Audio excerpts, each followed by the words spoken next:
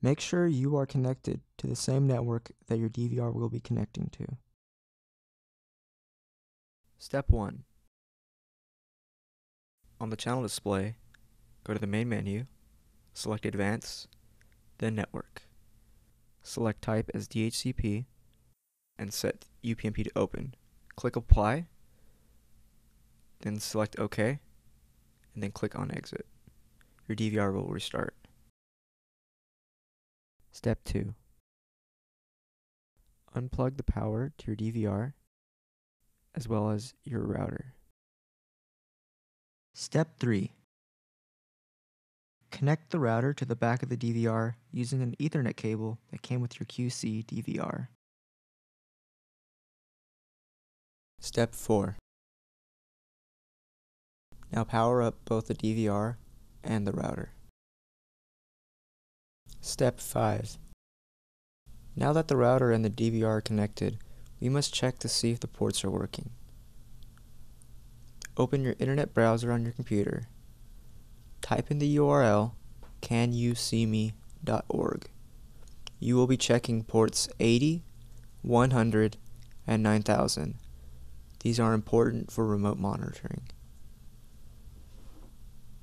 Type in 80 and click check. Now scroll down. It should state success. I can see with both the port number and IP address listed. Now repeat the same steps for port 9000 and 100. Step 6.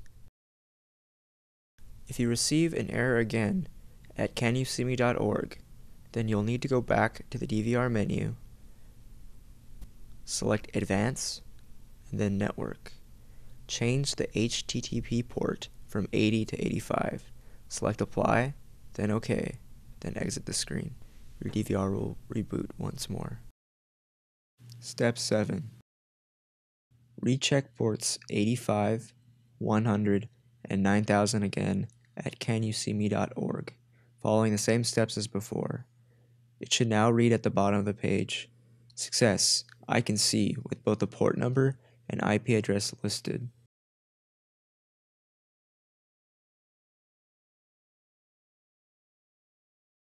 Step 8.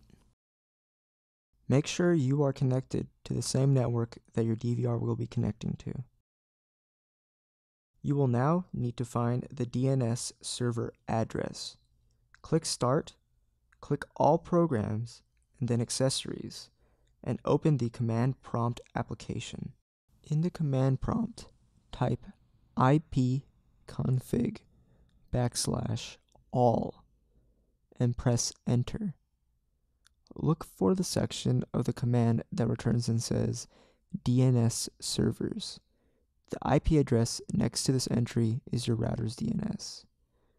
It will now display your DNS server information. Copy it down.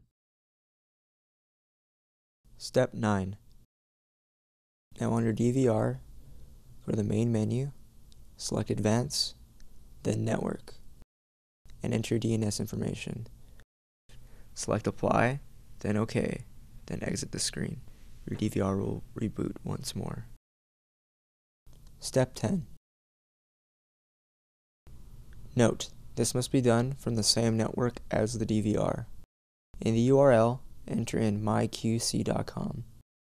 You will now register for a DDNS account. In the email address, enter in a valid email address. In the password text box, enter a password and then confirm that password. Please enter your first and last name. Now please select a security question of your choice from the drop-down menu and input an answer to the question in the text box below. Please confirm the verification code in the text below. And now click Submit. It will take you to the domain name creation page. Please enter a domain name of your choice, then press Request Domain. It will inform you whether the domain name is available. Please keep on repeating this process until you reach a name that is available. You have now completed registration. Now in the My Domains page, it will list all the domains registered under your account as well as their statuses. At this point, please write down the username, password, and domain name that you just registered. Step 11. On the DVR, go to Menu, Advance, and then Network, and locate the DDNS settings, and input all the MyQ-See DDNS account information, such as username, password, and host or domain name, and select Apply. Now, exit the screen.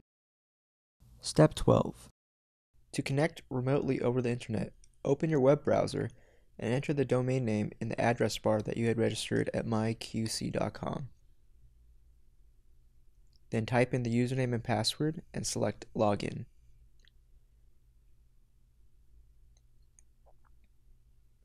Congratulations! You have finished remote viewing setup for your Q-See QS series DVR. If you receive an error again, please open your internet browser and type in q-see.com slash support. Select the Ask a Question tab at the top and choose how you wish to communicate, and a Q-See representative